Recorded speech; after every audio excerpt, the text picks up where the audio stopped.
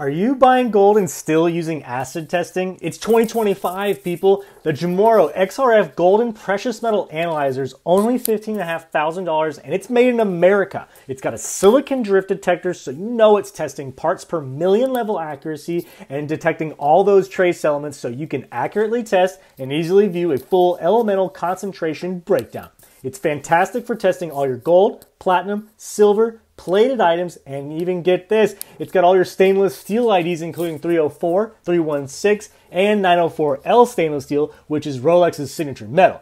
Of course, we had to put all those to the test, but in this video, we tested a fake Rolex, and sure enough, the material came up 304 stainless steel instead of Rolex's authentic 904L. Totally cool. I really wish I had that real Rolex right now, but I'll get that on the next video. This video has a plated piece, so watch carefully. We tested it in two places. First test showed 13.83 carat, and we tested another spot that's been filed, and it said 11.27 carat. Gotcha. Plated. No problem. 10 seconds per test, safe, lightweight. It's going to change your life. Trust me. Check out the link in the caption if you want to learn more.